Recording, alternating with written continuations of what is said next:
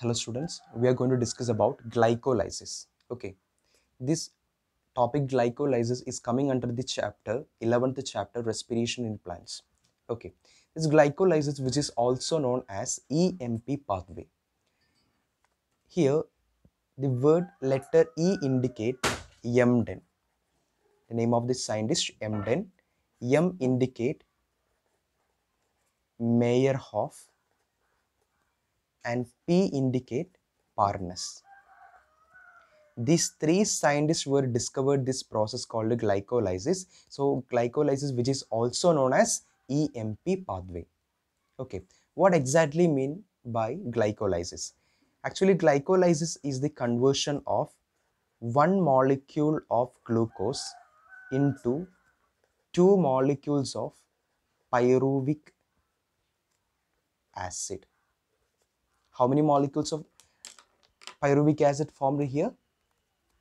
Two molecules were formed here. How many molecules of glucose we used here? One molecules.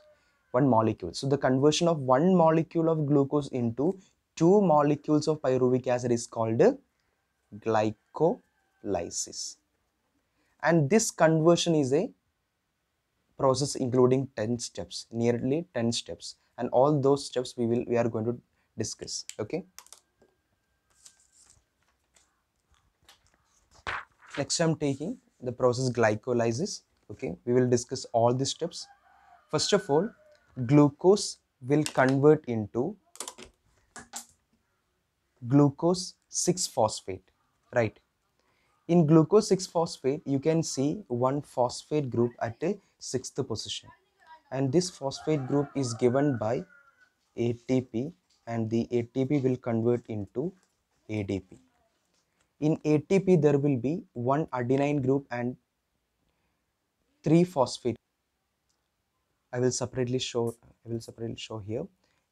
ATP means there will be one adenine group and there will be three phosphate which means adenine triphosphate three phosphate groups okay but ADP means one adenine and two phosphate group okay this ATP or adenine triphosphate will give one phosphate group to the glucose and the glucose will convert into glucose 6 phosphate. Okay. So here ATP will convert into ADP by use by losing one phosphate group. After that glucose 6 phosphate will convert into fructose 6 phosphate. And this process is activated by the enzyme called isomerase enzyme. What is the name? Isomerase enzyme. And this conversion which means the conversion of glucose into glucose 6 phosphate is activated by an enzyme called hexokinase enzyme. What is that? Hexokinase enzyme. It is a, it is very important for your NEET exam. So we discussed about hexokinase then we discussed about isomerase enzyme. Next i am taking next step that is the conversion of fructose 6 phosphate into fructose 1,6 bisphosphate. In fructose 1,6 bisphosphate, you can see two phosphate group at the first and sixth position.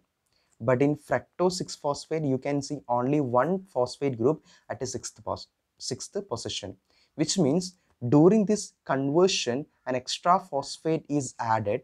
That phosphate group is given by ATP and this ATP will convert into ADP okay then after that fructose 1,6 bisphosphate will divide into two compounds.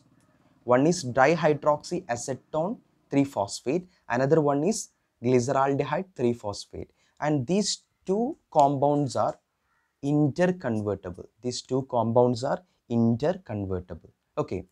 Next i'm taking this glyceraldehyde 3 phosphate. This glyceraldehyde 3 phosphate will convert into 1,3 bisphosphoglycerate in 1,3 bisphosphoglycerate you can see two phosphate group at the first and third position right but in glyceraldehyde 3 phosphate there will be a single phosphate at the third position which means during this conversion an extra phosphate is added this phosphate is not given by ATP. This phosphate is given by an inorganic phosphate. Okay.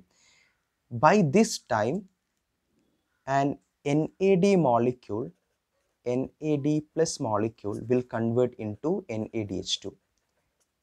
And this NADH2 will be equal to 3 molecules of ATP. that we will discuss later in detail okay then after that this 1,3 bis phosphoglycerate will convert into 3 phosphoglycerate in 3 phosphoglycerate you can see a single phosphate group at the third position but on this compound there will be two phosphate group at the first and third position which means during this conversion a phosphate group is released not used. Here phosphate group is released. This released phosphate group is accepted by adp and this adp will convert into atp adp will convert into atp okay next i'm taking this 3 phosphoglycerate. This will convert into another compound called 2 phosphoglycerate. And this process will take place in the presence of an enzyme called phosphoglycerate mutase. Here we discussed about three enzyme. One is hexokinase another one is isomerase enzyme and the third one is phosphoglycerate mutase enzyme. Okay after that 2 phosphoglycerate will convert into phosphoenol pyruvate. And this also in the presence of an enzyme called enolase the fourth enzyme that is enolase enzyme. Okay. And after that phosphoenol pyruvate will convert into pyruvic acid. In phosphoenol pyruvate you can see one a single phosphate group but which is absent in pyruvic acid which means during this conversion a phosphate group is released this released phosphate group is accepted by ADP and this ADP will convert into ATP right. So we formed here we can see the formation of pyruvic acid. We know glycolysis means formation of two molecules of pyruvic acid. Here we got only one molecule of pyruvic acid. Right. This pyruvic acid is came from glyceraldehyde 3-phosphate. We know fructose 1,6-bisphosphate will divide into two compounds. One is dihydroxyacetone phosphate, second one is glyceraldehyde 3-phosphate. This glyceraldehyde 3-phosphate will give the first molecule of pyruvic acid. After that, this dihydroxyacetone 3-phosphate will convert into glyceraldehyde 3-phosphate which because these two are interconvertible and which will give second molecule of pyruvic acid. So here you can see two cycles two cycles during the formation of two molecules of pyruvic acids. Okay so during one cycle there will be formation of one molecule uh, here one molecule and here one molecule. There will be two molecules of form two formation of two molecules of ATP in one cycle. So during two cycles there will be formation of four molecules of ATP remember all those things. Okay Next, we are going to calculate how many molecules of ATP and NADH2 were formed during this reaction. Okay. Okay, so we are taking the ATP number of molecules of so here we need to take how many molecules of ATP were formed and how many molecules of NADH2 were formed.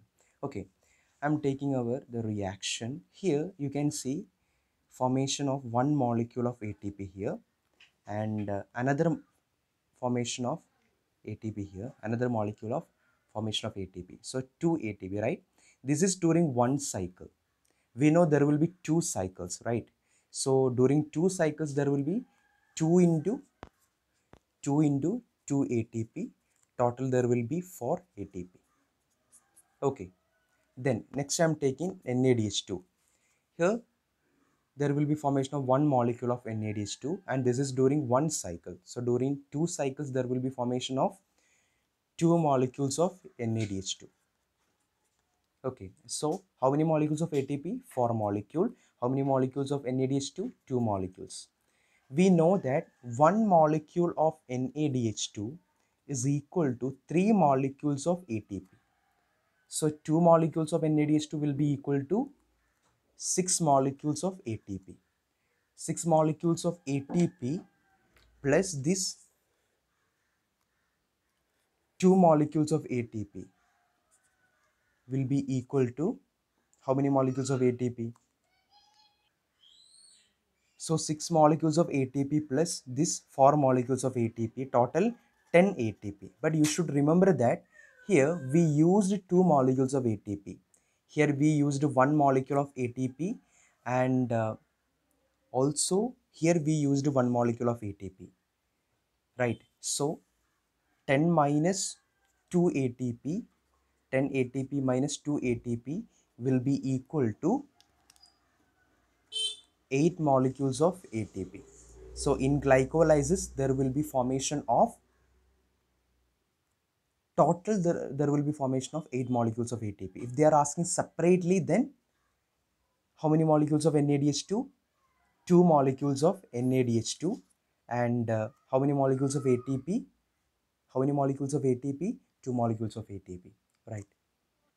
Okay how is for ATP sorry how is 2 ATP for ATP minus we used 2 ATP so for minus 2 there will be 2 ATP I'm repeating again or I'm separately writing how many molecules of NADH2 formed during glycolysis 2 molecules of NADH2 how many molecules of ATP formed? 4 molecules formed.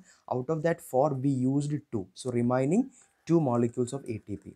If you are converting everything in terms of ATP then 2 into 3 6 ATP 6 ATP plus this 2 ATP total there will be 8 ATP. Okay. Hope you understood the concept. Thanks for watching.